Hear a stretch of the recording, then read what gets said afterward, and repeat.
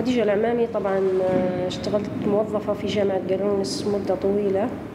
في الألفينات كانت بداية أن القذافي خفف أو نقدر نقول بيلفت انتباه الغرب بأن ليبيا فيها نسبة من الحرية ونسبة من الانفتاح بعد حالة انغلاق دامت 20 عام. قررت اني يعني بنفتح صالة إنترنت وكان الإنترنت يعتبر في تلك الفترة آه، مش مش منتشر بكثرة يعني. بديت في إجراءات الاستعداد لفتح صالة الإنترنت وكأني نبي نفتح مفاعل نووي طبعا. آه، مش مجرد صالة يستقبل فيها الزبون وتطلعي فيها تكون كنافذة عن العالم الخارجي يعني.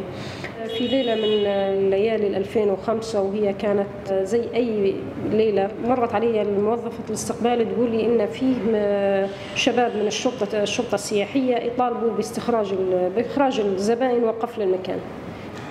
ففكوا جهاز الرسيفر اللي هو التحكم.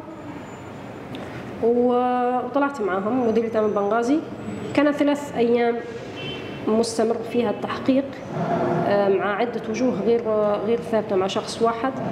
كان 24 ساعة على القدسي بعدها طبعا فعلا كان تعهد دسم جدا. وكان تفاجأت بأن بأن تم وضع ملف خاص لي في المكتب.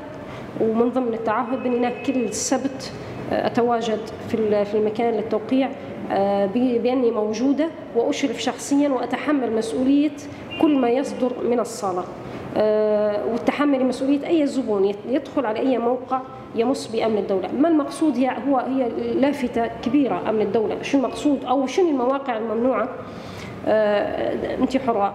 يجب أن تضعي مراقبة دقيقة على كل الأجهزة وتقتحمي على الزبون وتشوفيه فيش يشوف وتسجلي لنا اسمه وأمتى جاء وأي توقيت. في 2007 هي طبعا كانت الضربة القاضية للمكان اللي تم فيها الاستيلاء على يعني المعدات الأساسية المشغلة للمنظومة وتم التحفظ عليها.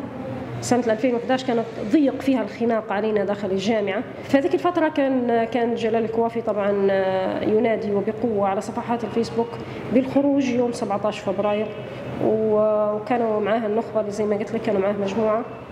آه، تم استدعائي يوم 11 2 2011 بل أول ما فاجئوني بأن قالوا لي إن جلال حكى كل شيء وجلال حكى عنك وحكى عن أيام كافي نت وكيف كنتوا تستخدموا فيه ونحن عارفين. فوقعت على ورق بالتعهد ورجعت.